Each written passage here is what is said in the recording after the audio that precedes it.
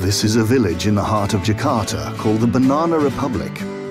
They run a small recycling business, and most days they get by. But when the rainy season hits, their village goes underwater. We needed to raise awareness of the issue, and we needed donations to help address the problem.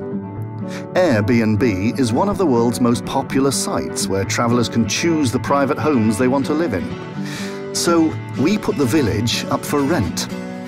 For 10 US dollars, you can live in one of the huts.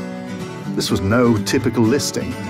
Unlike other posts with great looking homes, we told the truth. We showed the actual living conditions, warts and all. And we showed how bad it gets when it floods. Within a few days, international press picked up on the listing and it spread quickly across Twitter and Facebook. Fast Company covered it extensively, while the Next Web called it one of the most creative ways of seeing Airbnb being used.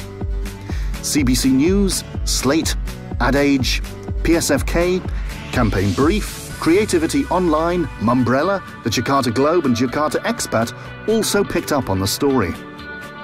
For zero dollars, this simple listing was viewed over 6,000 times in three days.